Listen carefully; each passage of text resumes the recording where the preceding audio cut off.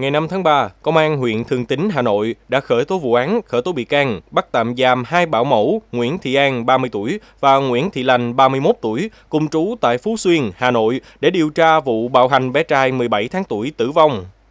Theo điều tra ban đầu, ngày 1 tháng 3, Công an huyện Thường Tín nhận được trình báo của người dân việc cháu bé 17 tháng tuổi ở thôn Đặng Xá, xã Vạn Điểm tử vong khi gửi tại cơ sở trong trẻ tự phát trên địa bàn xã Vạn Điểm.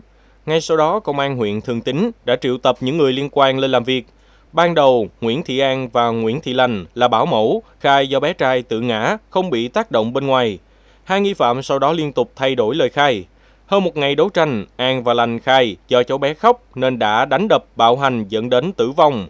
Kết quả khám nghiệm xác định cháu bé tử vong vì chấn thương sọ não, chảy máu não, phù não. Bạn đi thì cũng có hôm quấy hôm khóc thì có hôm nào mà quấy thì là em cũng túm áo em đẩy bạn đi xuống cũng chỉ đẩy xuống cái lên xốp ấy thôi ạ. Nhưng mà em cũng không đánh, em chỉ đẩy xuống cái lên xốp ấy thôi.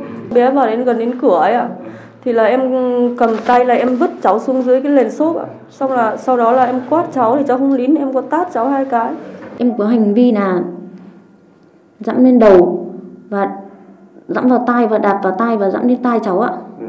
Em vì là không lường trước được hậu quả sẽ xảy ra như thế này em rất hối hận vì đã để lại hậu quả đau lòng đau đớn cho gia đình và cháu ạ theo cơ quan chức năng, cơ sở mầm non tại xã Vạn Điểm là cơ sở tự phát và đã bị xử phạt hai lần do không đảm bảo điều kiện hoạt động. Lần xử phạt gần đây nhất vào tháng 11 năm 2022.